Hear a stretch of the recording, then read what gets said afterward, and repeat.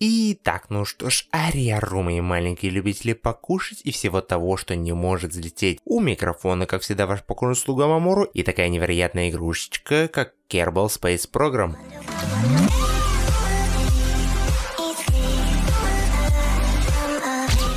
Не первый мой сезон, и я уверен, что не последний. Но с последней выпущенной серии прошло уж слишком большое количество изменений, как во мне, так и в самой игрушечке, в связи с чем появилось дикое желание еще раз погрузиться с головой в мир Кербалят и еще раз побывать там, где еще никто не бывал. С момента последней серии произошло уж слишком много обновлений и изменений в различных игровых механиках, тем более, что я уже и успел забыть абсолютно все, что касается базовых характеристик. Так что можно сказать, что по сути это для меня новая игра. А если брать в расчет, что KSP2 находится в уж очень сыром виде, то это очень даже хорошая альтернатива. Начинать я, конечно же, буду не ванильное прохождение, а с модами, которые представлены на вашем экране. Ничего серьезного, парочка на графику, парочка вспомогательной и один глобальный мод, добавляющий реализм. Радиацию, потребность в воде, еде, кислороду, ну и так на самом деле по мелочи. С этим наши космические полеты станут в разы интереснее. Все выставленные настройки вы можете видеть у себя на экране, ну а мы не будем в таком случае затягивать и уже начинаем.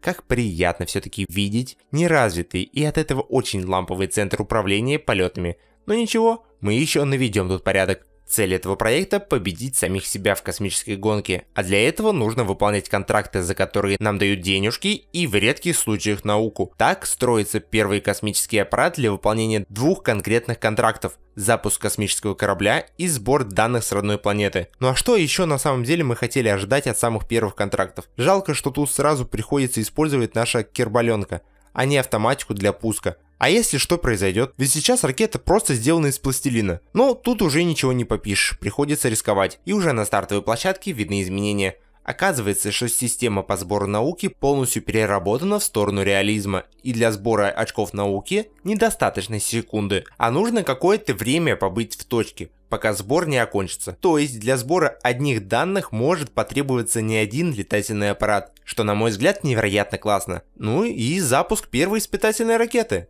3, 2, 1, пуск! И полет происходит по полностью запланированному плану. Наш же Бодайка учится еще работать с приборами, изучает строение ракеты и научных данных, а также пока что самостоятельно вовремя раскрывает парашют и после чего успешно падает на планету.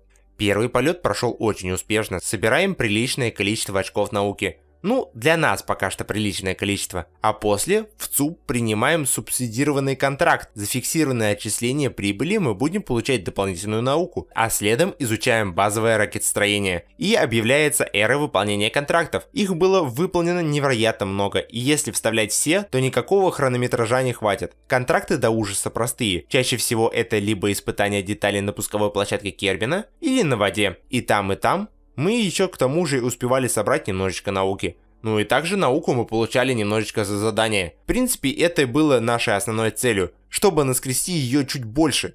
Ведь пока что мы никак по-другому ее получить не можем. В один из таких разов мы решили испытать, попробовать парашют, который нужно было раскрыть на определенной высоте и с определенной скоростью. После нескольких попыток итог был очевиден. Даже при соблюдении всех условий задание засчитывалось проваленным. Отсюда вывод, что такие задачи пока что не берем и не выполняем. А жаль, ведь за них прилично платили. После неоднократного выполнения миссии нами было получено 46 очков науки, благодаря чему мы получаем возможность получить дополнительные модули изучения. Так открываем барометры, дозиметры и датчики телеметрии. С этим уже как-то можно работать и еще больше получать очков науки. Но для начала нужно улучшить цех вертикальной сборки до второго уровня.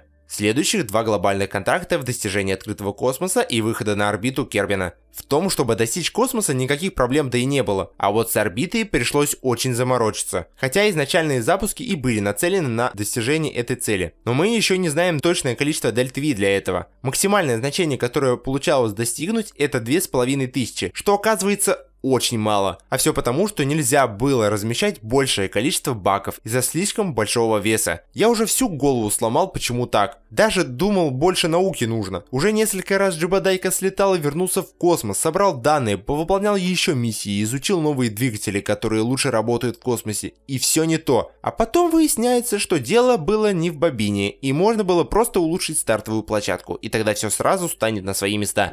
Основная цель этой миссии состоит в запуске ракеты на орбиту для сбора данных и выполнения контрактов, а также выяснения условий выживаемости кербонавтов.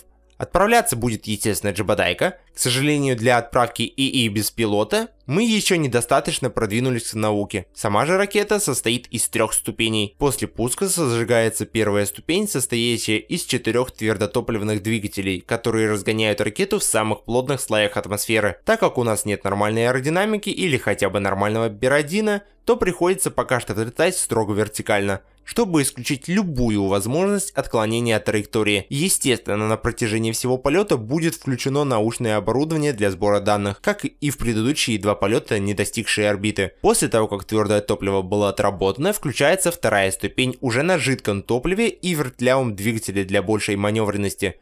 Эмпирическим путем было выявлено, что при достижении 25 тысяч метров над уровнем Кербина атмосфера достаточно разряжена, чтобы данная ракета могла выполнять маневр атаки.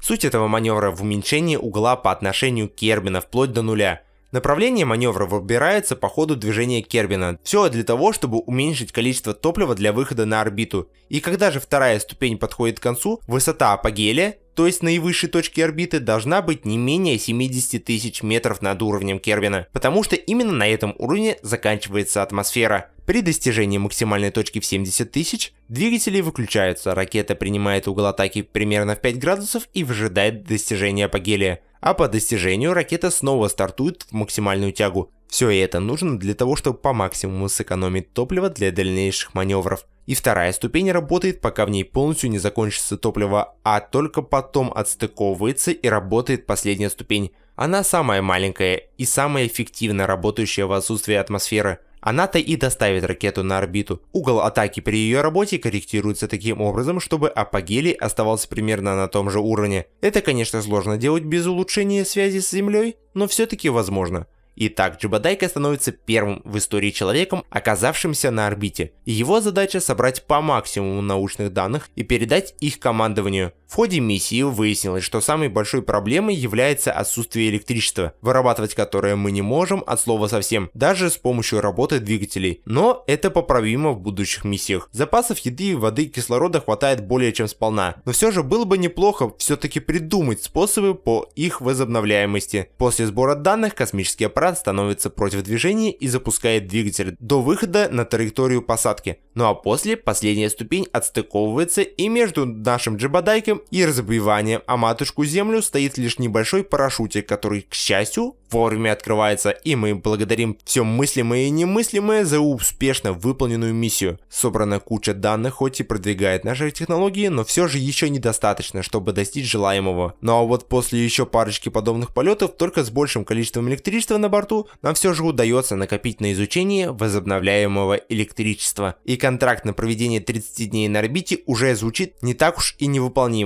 Собирается лететь, конечно же, на наш Джибадайка. Корабль конструктивно не так сильно отличается от прошлого. В нем размещено просто большее количество запасов кислорода, еды и воды, а также контейнеров по сбору научных данных. Ну и солнечные панели, делающие электроэнергию возобновляемой. Топлива в ракете остается слишком много и было принято решение отправиться на большую орбиту. Ну, например, на 200 километров от Кербина. После закрепления на этой высоте показатели дозиметра зашкаливают, но храбрый пилот решается продолжить миссию во славу науки.